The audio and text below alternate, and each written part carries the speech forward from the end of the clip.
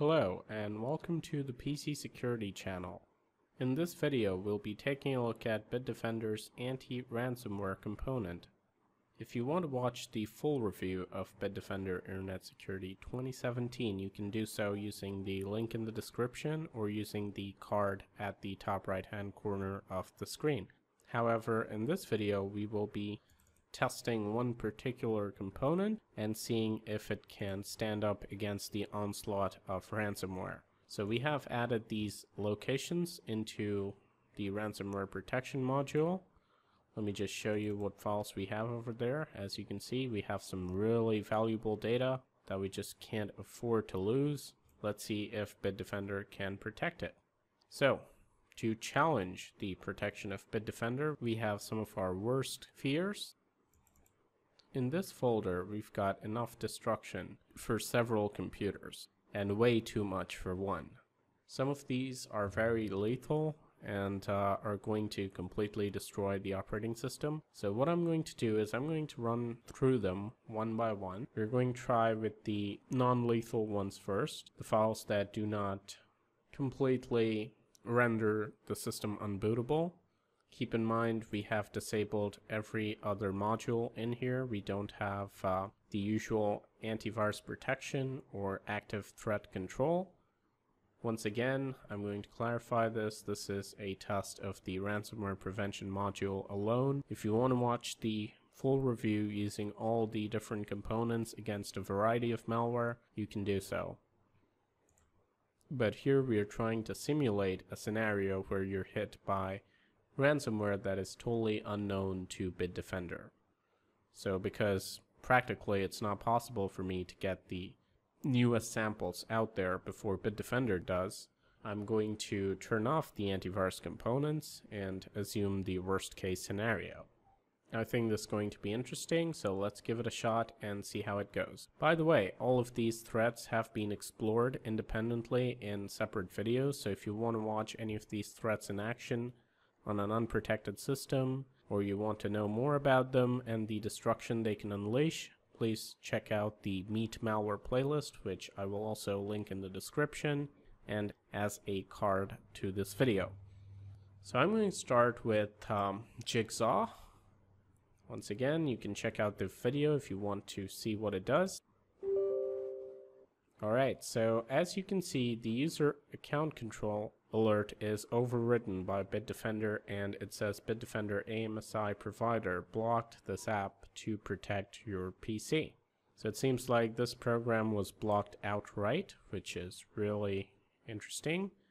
Let's try Phantom. I think it has been able to run. Keep in mind, it doesn't matter whether or not the system is infected, that is not what we're testing. The only motive of this test is to figure out if Bitdefender can protect these pictures from being encrypted.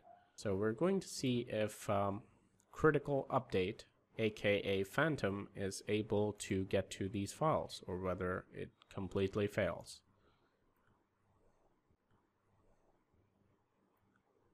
Now I'm going to run Locky, which is another deadly ransomware.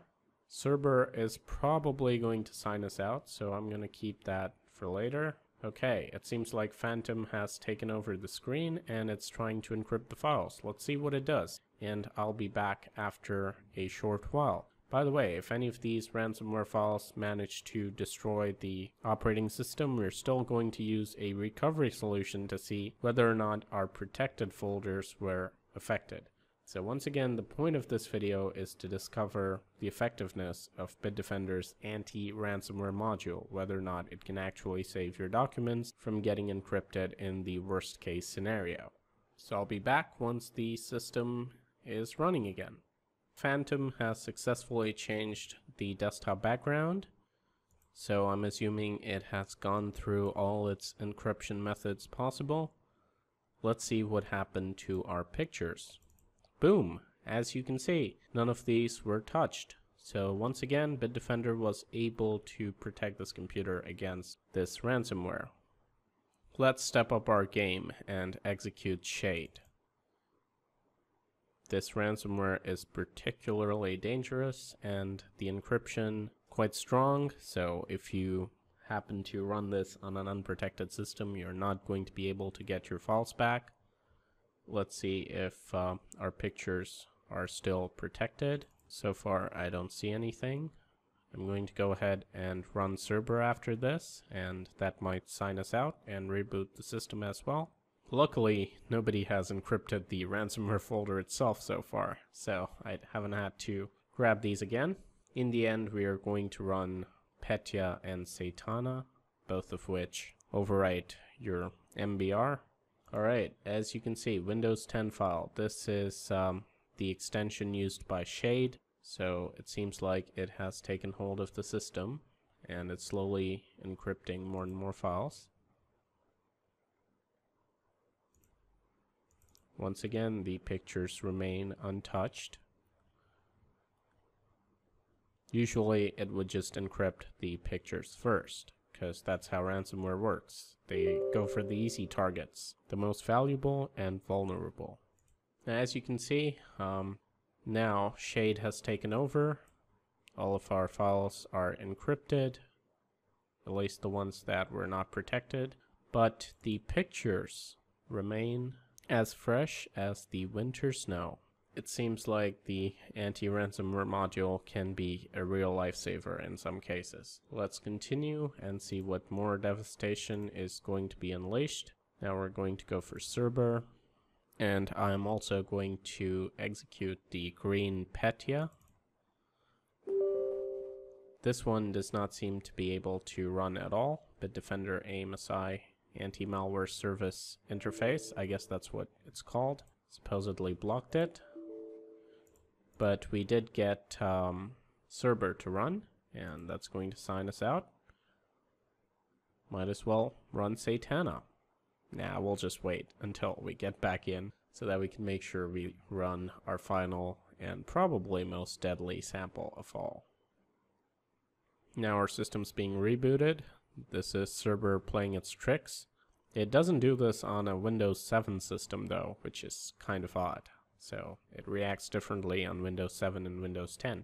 If you watch the video of Cerber in which I actually demonstrated the threat, that was on Windows 7, and it just instantly encrypts the files and plays the audio warning. But in Windows 10 it seems it's going to reboot the system, and it's going to do something else.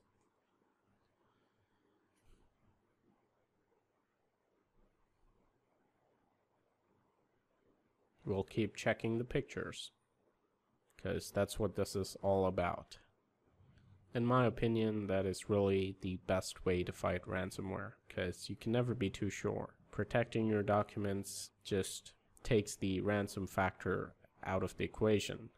And there are only so many files which are really that important. I mean, you wouldn't really mind if some downloads were encrypted or programs were encrypted which you could just get off the internet again. So usually the amount of sensitive information is quite less and they're not modified that often. I mean, how often do you modify your family photos from two years ago? But those are the things that people usually end up paying ransom for. So I totally see the usefulness of something like the anti-ransomware module. Once again, seems like Cerber Attention. has taken hold. Attention. Attention. Your documents, photos, databases, and other important files have been encrypted. Your documents, photos, databases, and other important files have been encrypted. Oh really? Let's find out. Whoa. Now this is a surprise. It seems our files have been encrypted, despite Bitdefender's anti-ransomware protection. Well, it seems Bitdefender isn't running anymore, so Cerber did the trick. Let's see if we can restart Bitdefender. Doesn't really matter because the damage has been done. Whoa, it seems like Cerber has totally destroyed and deleted Bitdefender. So, of course, um, if I had the other protection components on, maybe this wouldn't have happened. But then again, I didn't really turn off self-protection or anything like that. I just turned off the antivirus and the active threat control. So the reason why these files have been encrypted is probably because Bitdefender was shut down, meaning it could not protect these files any longer. However, this is totally um, a practical scenario if you think about it. Let's say there's a brand new ransomware not in their signatures or cloud, and it somehow slips through the behavioral monitoring, or there's a new obfuscation method that is going to prevent Bitdefender from finding a new variant of ransomware like this, then it is still possible for it to encrypt your files even if they are in the protected folders of ransomware protection. I have also noticed um, a few comments from people who have told me that this has happened to them with the Zepto ransomware as well. A lot of people got hit by that and Bitdefender's anti-ransomware protection wasn't able to protect them in that case, which is again part of the reason why I was so interested in seeing how it would perform in this version but it seems like it is still possible to bypass it. Of course, this is a very extreme scenario. You shouldn't be worried because of this, but more work can still be done. I'm not going to run Satana anymore because it's just pointless. Bitdefender has been shut down, so it's just going to take over the system and completely destroy it. So if someone from Bitdefender is watching, um, please uh, take note of this. The sample of Cerber I used is probably one of the most common variants out there, so in my opinion, this should not have happened. Nothing's perfect, and neither is Bitdefender, so, and we just saw one of these flaws right now, right in front of us. If we had the protection features enabled, I'm confident that it would have been blocked by either the signatures or the active threat control. This particular variant is going to be easily detected by any popular AV, but um, that's not the point. What we were trying to test in this video is what happens when you get hit by ransomware, which is not recognized by your anti-malware product. And uh, despite Bitdefender's exclusive um, module, ransomware protection, which um, aims at dealing with something like that, um, it has failed to protect us from Cerber.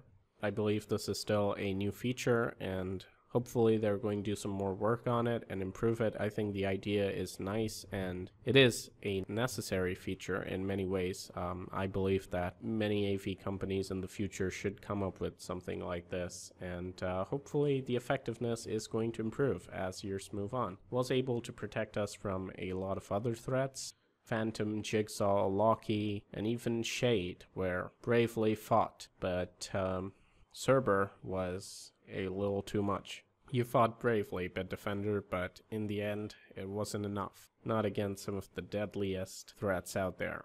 Well, I should also say that you had both of your hands and one of your legs tied behind your back, but, well, I wouldn't consider something like this happening to be impossible. Unlikely, yes, but impossible, no. So just something else to work upon, and um, as for you guys, I think this should just show you how dangerous ransomware can be and why it is absolutely imperative for you to keep backups of your data. Nobody realizes the importance of that until it happens to them, so don't be that person. You may have the best security on the planet, you may have uh, three antivirus programs running, doesn't matter. Keep a backup of your sensitive documents. That is the only thing that'll assure you that your data is not going to be affected should the worst come to pass. So I hope you enjoyed this video. This is Leo. Thank you for watching, and as always, stay informed, stay secure.